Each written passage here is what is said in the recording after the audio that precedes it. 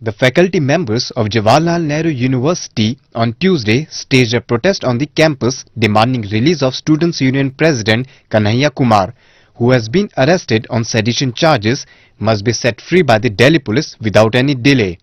One of the faculty members said that one should not interfere in the university-related issues and also stated that Vice-Chancellor must realize his mistakes and improve it. Demands to कि students union president को जो गलत